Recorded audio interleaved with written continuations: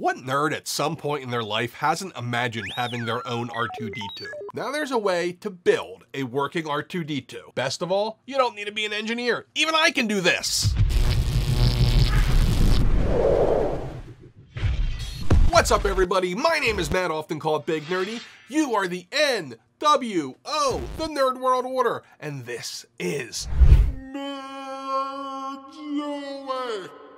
few weeks back, I got an email from a company called Fanhome, who I admittedly I never heard of, and they said, hey, we have an R2-D2 model kit that, you know, you build an authentic R2-D2. Can we send it to you to see what you think about it? And I'm like, yeah, sure, why not? To be honest, I was kind of skeptical because I'm like, I don't care about models. I don't, I paint like crap. Like this probably isn't for me, but you know what? I'll give it a go, see what happens with it. And I gotta tell you, I got the first box and I opened it up and I was pretty blown away. And I really dove deep into what exactly this thing is because at first glance, I saw it once and I was like, eh, that's cool, whatever. But now, as I look deeper, like, ooh, this needs a second look. This is pretty cool. Q, Fanhome emailing me again saying, hey, would you be interested in working with us and doing a couple of sponsored videos? And I'm like, uh, now that I know what this is, hell yeah, I'm in. Now, I'm new to this whole model build-up thing in general, but I do remember listening to Matt Cardona on the Major Wrestling Figure podcast talk about his Ecto-1, I believe, from Ghostbusters that he was building up, and that was from another company. But it was really cool listening to him and Smart Mark getting the pieces in the mail and starting to put it together and build this thing. And I'm not really a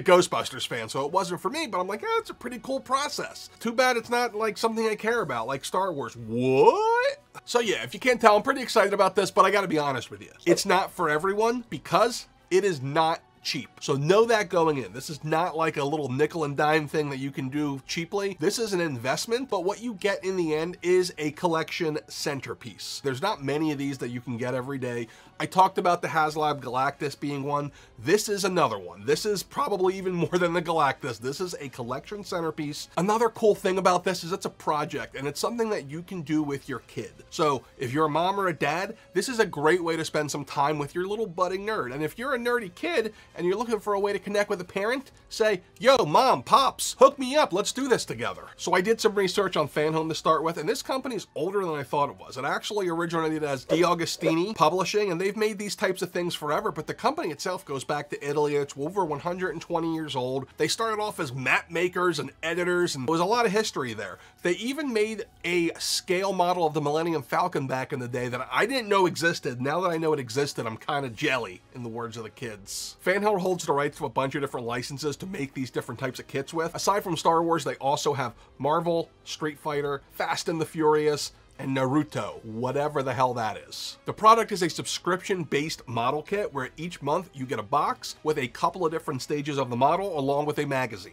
R2-D2 himself is one half scale. So using some of my math scales, R2 is 42 inches tall in the movie supposedly, so that means this thing should be right around 21 inches. This is advertised as being an advanced autonomous droid with interactive intelligence and multiple modes and functions. With his sensors, cameras, microphones, and sophisticated logic boards along with power powerful motors, R2-D2 can interact with his owner as well as move and behave just like the droid from the Star Wars movies. Some of his features include a rotating metal dome with a built-in camera, two modes of operation, be it user-directed or AI, speakers and microphones so that I can listen to verbal commands and do its usual beep boop beep to communicate. That was an R2 impression for those who didn't know. The onboard camera is capable of storing its own photos and videos, and there's a projector that can emit images of Princess Leia and Luke Skywalker. R2 is capable of moving and turning just like the real R2, with a third leg there for support. Feel like that's a dirty joke, but it's really not. His arms are both extendable and foldable, and he has a hidden little compartment to stick a lightsaber that's spring-loaded to pop out. What else can you ask for? After you assemble R2, head on over to the App Store or the Android Store, whatever they call it. I don't know, I'm an Apple guy, but there's an app for this puppy,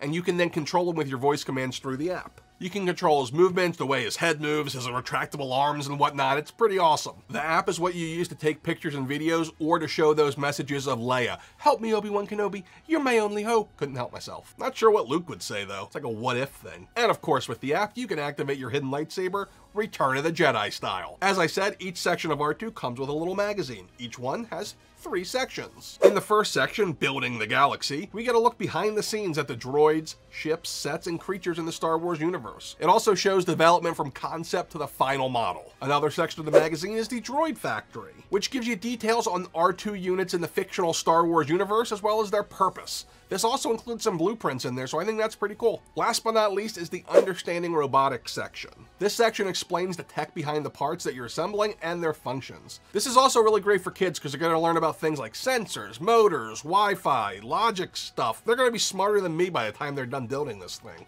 unless I build it with them then we're going to be equally smart. You don't need any special skills to build this thing, it's designed for beginners. As far as tools go, all you need is a screwdriver, which it comes with in the first kit. And if you're like me and reading the instructions inside the magazine aren't enough, there are videos for each stage available for you to go check and see how this stuff is done if you're having a hard time visualizing it. In addition to everything I said, there are some bonus gifts that come along the way that you get with R2. These include a hat, a notebook, a coffee mug, a Darth Vader wall decal, and large format 8x12 prints perfect for framing. All right, let's talk about how this works because the website's not super clear on how this works. So let me explain it for you and I think I can break this down pretty easily. So each month you get a box. Inside that box is a number of stages. The first month only comes with stage one and two. Every other month comes with four stages. For each stage, there is a magazine and there is an assembly kit. So each stage is $13.99 plus $2.40 shipping. That means that after you get through the introductory offers, it's $65 a month. There is 100 stages, which means that this is gonna take you 25 months to build, so over two years. And in the end, it's gonna cost you a little bit over $1,500. Now, while the grand total is over $1,500. The first two months are discounted, so you do get a little bit of a break, and of course you can cancel anytime. If you're on the fence about this, for $8, I really encourage you to give this a try, because $8 is like a Big Mac these days. Get it in the house and sit down with your kids or your parents, whoever you're doing this with. Go through the magazine together and build a couple of first phases. They won't take you long. And see what their engagement level is. If they're really enjoying it and you're enjoying the bonding time, then you just found a project that you guys are going to be able to do together for the next two years and the memories are going to last a lifetime. And if you don't like it, just cancel it and you're out eight bucks. No big deal. There is a link down in the description. And remember, you gotta get old, but you don't have to grow up. Just be cool and stay nerdy. Later.